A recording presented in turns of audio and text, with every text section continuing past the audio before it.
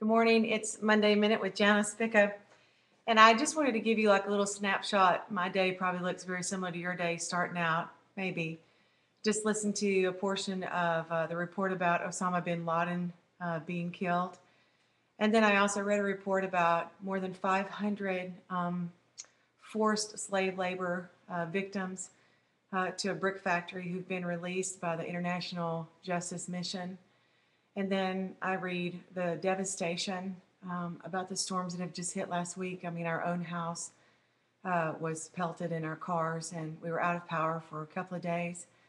And then thinking about where is God in all this?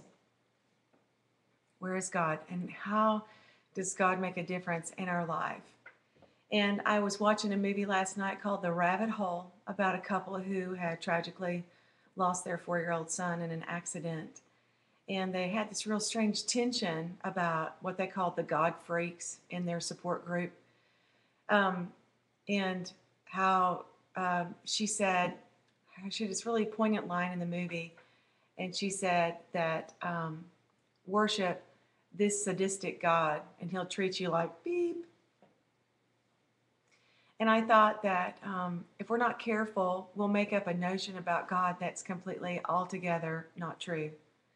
And if we try to look at um, everything that's going on, the bad things, there are really, really bad things that's happening in our world, then we'll miss the goodness of God and His breath and His life moving through us.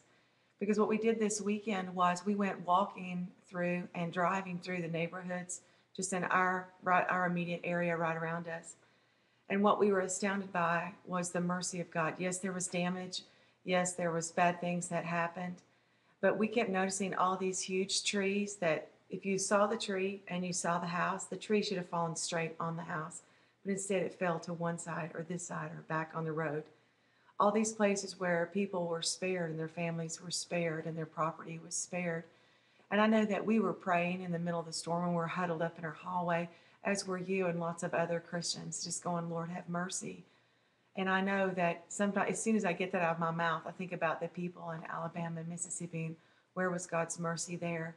But the thing that I'm thinking about is we're not there and we don't know the stories. We don't know how God is showing up supernaturally in those places. Now, the point of all this is what? Is that you've just celebrated Easter. You just found out that Jesus has paid for every sin in the whole world.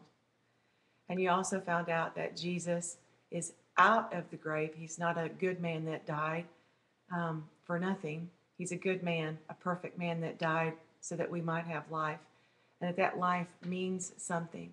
And I had this really fantastic conversation with Chuck this weekend. Um, he has a phrase from Dallas um, Willard that says, Grace is not opposed to effort. Grace, God's grace, is not opposed to our effort. But we've been really examining the conversation about we think that God has his part and we have our part and we got to do our part so that God will do his part. But actually, I think that there's something altogether different is that our striving, our got to make it happen. We got to do it right. Oh, oh, oh. We got to do it because God's not going to come through and we got to have all these plan B, C, D, and through Z. And that really God's plan is our effort is leaning into his arms. Our effort is going, I don't know, this is really bad, but God. Our effort is looking at devastation. Our effort is looking at our own hearts and going, but God, that He's alive and He's well and He's moving. He's working, just like Jesus said, My Father's working and I too am working. And that there is something happening in the world before our very eyes that we need Jesus more than ever, and we have Jesus, that His Spirit is working and rescuing and that instead of looking around, um, but that we'd look to the Lord, not in some like uh, put your head in the sand, oh Jesus, Jesus, I'm not going to look anything, but that you would proclaim the name of Jesus in the middle of these things because his name has power. And we were talking on mm, Saturday morning, and Chuck said, um, it doesn't matter, but we, this question came to my spirit, and we spent several minutes talking about it uh, from the Lord. Um, can I trust you? The question from the Lord, God saying, Can I trust you in your circumstances? In the circumstances that you're in today, can I trust you? And that doesn't mean, Can I trust you to get it right? That means, Can I trust you to see that I'm in the middle of these circumstances with you. And what prompted that conversation is I only have two children. Thank you, Lord, for two children. But I have friends who have three children, four children, seven children. And the two children that I have can be very, oh, how am I going to do this? And I often stop and go, Lord, thank you that I don't have five or seven children. I don't know how I would do it. And when I had that conversation, the Lord is like going, they needed me with seven, just like you need me with two. And it prompted the, this, this notion, the word from the Lord can I trust you in the circumstances that I've given you today? And so I want to just ask that question of you Are you trustworthy in the circumstances that you're in today without them all working out wonderfully? Are you trustworthy that you can continue to look for Jesus and look for his spirit, listen and respond that even though everything's crazy, the world seems like it's going crazy, but Jesus is alive and well, and that we look to him, we live in him, he's living through us, and he truly is our hope. When Jesus said, The peace I give you is not as the world gives, he meant that. And it makes a difference, regardless of the good or the bad that comes to us and against us. That he has overcome death in every form death of emotions, death of relationships, death of finances, physical death, death of dreams.